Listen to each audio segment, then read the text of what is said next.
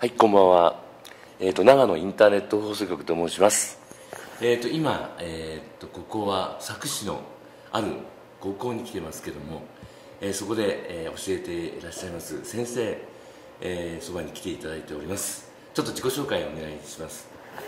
すいません、こんばんは。こんばんは、えー、佐久平総合技術高校の、えーデザイン系列、えー中野実と申します。よろしくお願いします。中野先生と言っていいんでしょうかね。はい。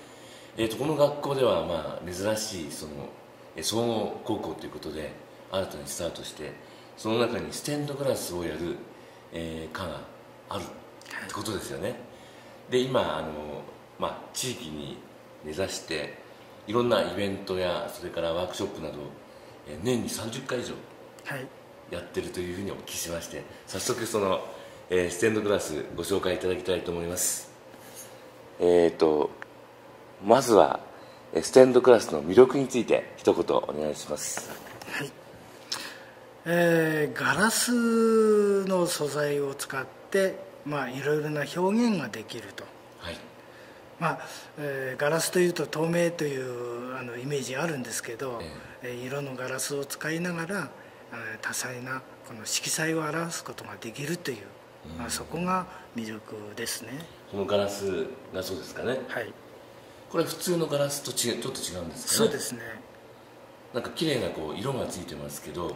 これはあ自分で着色するでであのステンドガラス用のガラスははい。日本では作っていませんので、はい。全部、えーがえー外国で作っていただいたものですね全部手作りですけど。あそうなんですか、はい。初めてそのステンドグラスに出会った時っていうのはいつだったんでしょうか？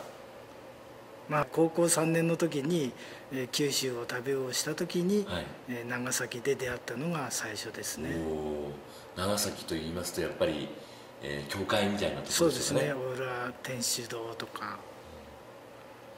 あの、まあ、教会のそのステンドグラスっていうのはその何かそのキリスト教のその教えをこうそうですね。伝えるためのなんかそうですね。ものだというふうにお聞きしたことあるんですけど、はい。まさにその通りであの文字があの発達してなかったので、はい。そのキリストの教えをガラスで表現をしてでえー朝日を浴びてはい。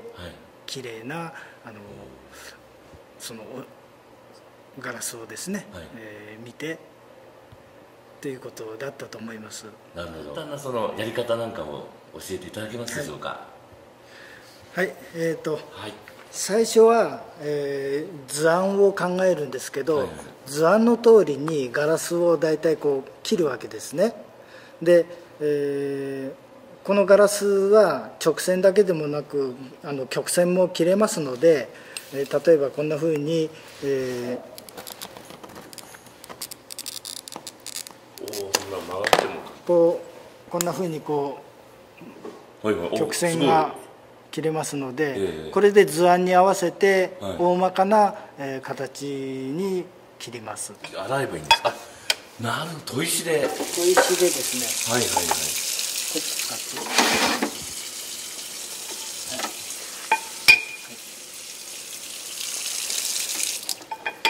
まあここのところをですね、はいこうして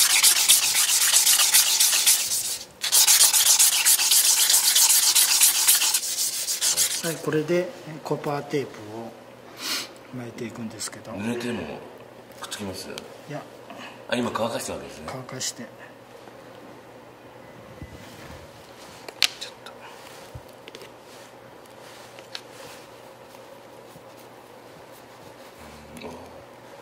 そのところで拭いても切れないんですか？はい。まあこうしてこう剥がれないように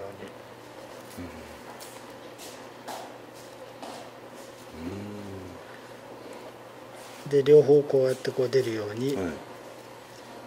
巻いていくんですけど、ああかぶさるようにね、はい、そういうことか。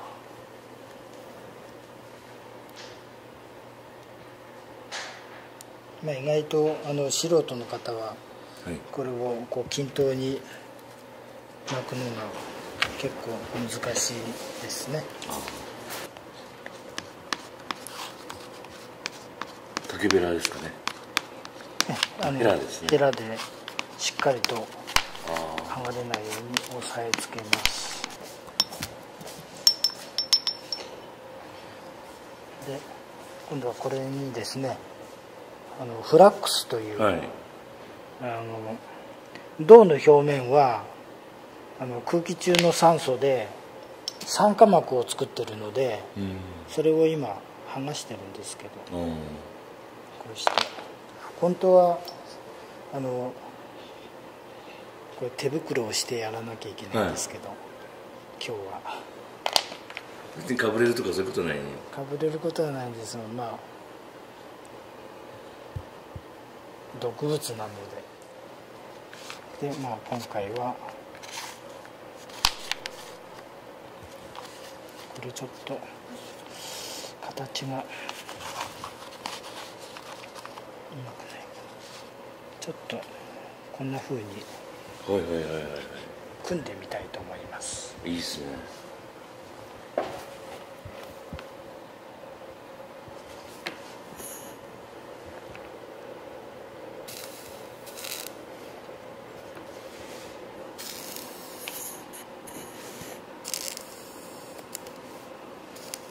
もうこれで買い初めですねまず。もうこれで動かないので。あとは。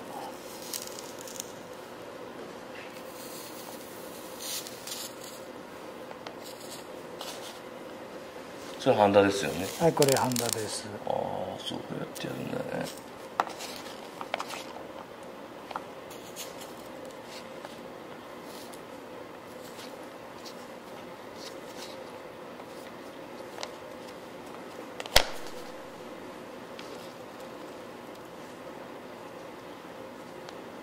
銅とハンダっていうのは相性いいもんね。そうですね。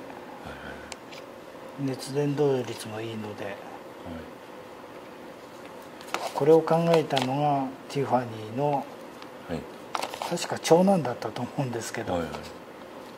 今は世界中にティファニー式ステンドグラスの世界がありますので、はいとってもすごい世界ですけど。はい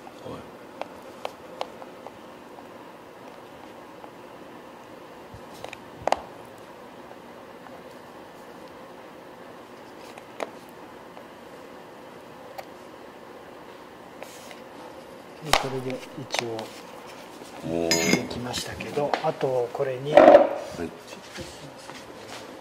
うしようかな。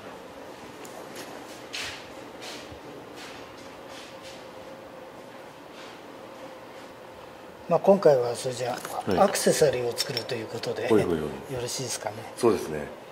アクセサリー作りでここに。それは何ですか？これ紐を通す。こはい。あれをあ金具ですね。金具をちょっと作りましょう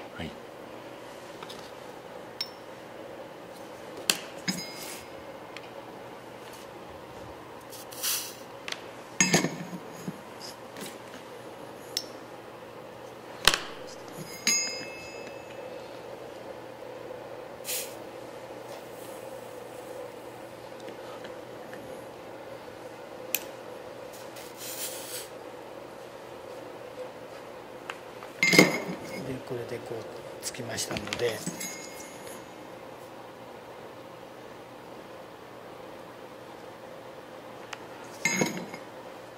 でこれを今度は洗ってはい。え黒く色をつけたいとへ思います。え。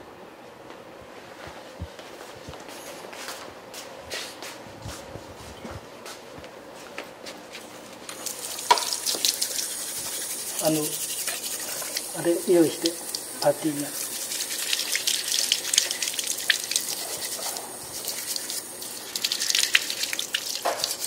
それは洗浄してるんですか？はそうですね。あのさ先ほどのフラックスをいはいはい。きれいに洗い流して。る水で大丈夫なんですか？本当はあの洗剤を使ったりするんですけど、はい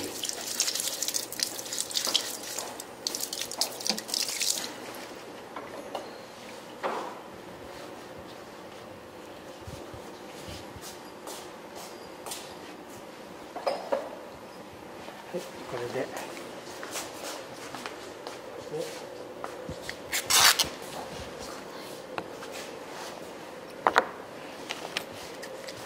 実はこれも素手でやってはいけないんです、はい。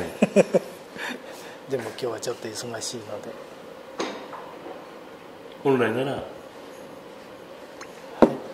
これは鉛と反応させてうん。うおー味が出てきましたね。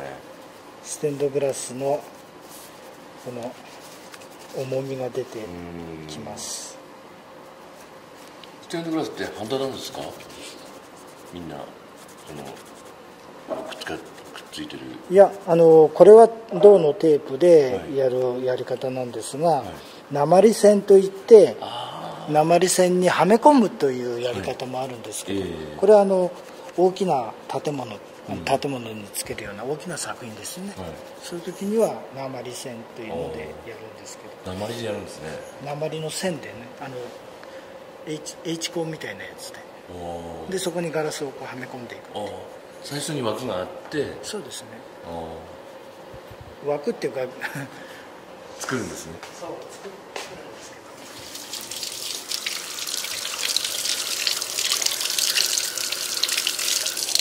ど。まあ今今回私はこう素手でやってるけどあんまりよろしくはないんですよ。はい。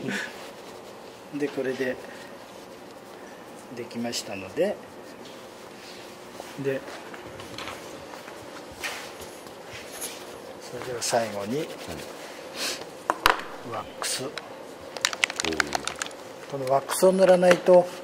あの錆が入ってはいなあのハンダが錆びていっちゃってまずいので。磨くっていうのとはまた違うんですね。磨くんではなくて中に油を染み込ませるというか。え中って隙間空いてるんですか？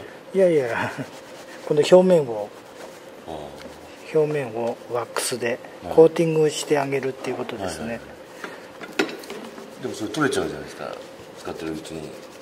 ですからあの時々やっぱりあのレザーワックスとかああいうものでも結構なので、はい。ね少しこう油を入れてやるといいかなと思いますけど。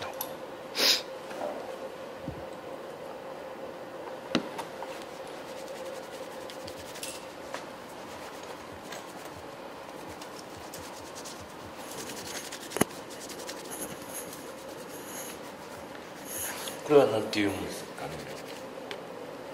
これがワックスで。これはパティーナという薬薬品ですね。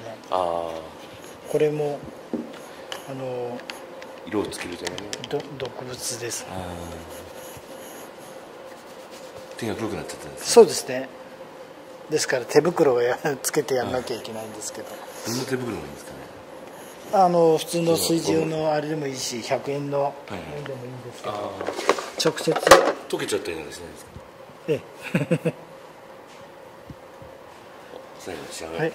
最後これで。お仕上がりで、まあ、こういうあの体験コーナーをいろんなところでやってるわけですね、こういうのができました。こおお一丁上がりですね、ういうのができましたので、はアクセサリい、ーインテリアにもいいですね。